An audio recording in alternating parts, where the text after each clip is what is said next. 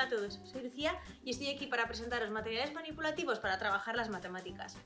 Hoy os quiero hablar de un material muy espectacular que se llama el material de jerarquías.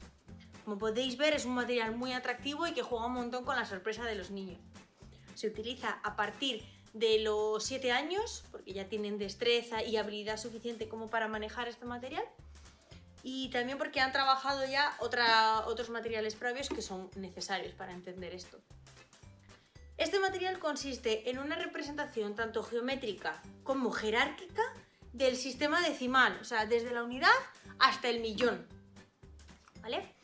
Eh, con este material, ¿qué trabajamos? Trabajamos un montón de cosas, desde la comparación que os he comentado entre lo que es una unidad y un millón, por ejemplo, el sistema decimal, el sistema de, de codificación de colores en función de las jerarquías, las familias de números, todo esto. Os cuento un poco más en qué consiste el material físico.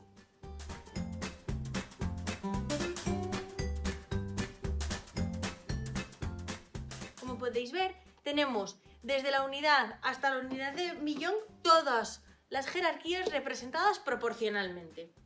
La unidad compone 10 barras de decenas y así está señalado en, la barra de decenas, con 10 divisiones de color verde que significan que esta jerarquía está compuesta por 10 unidades de la jerarquía anterior. Y así sucede en todos los materiales.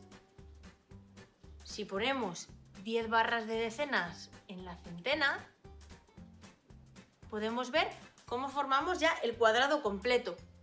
Y así lo mismo, con 10 centenas formamos una unidad de millar.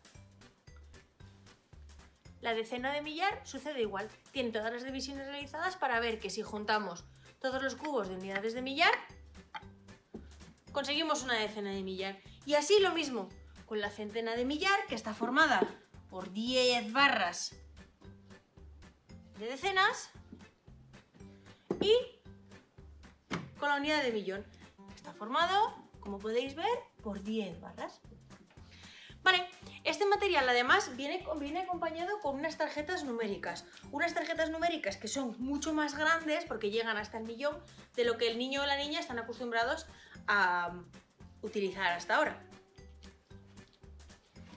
y las tarjetas numéricas nos ayudan a ponerle nombre a estos materiales. Tenemos la del 1, que es la de la unidad, y en verde, por supuesto, el 10, la de decena, en color azul correspondiente, el 100 de la centena, en color rojo, y volvemos a empezar con las unidades.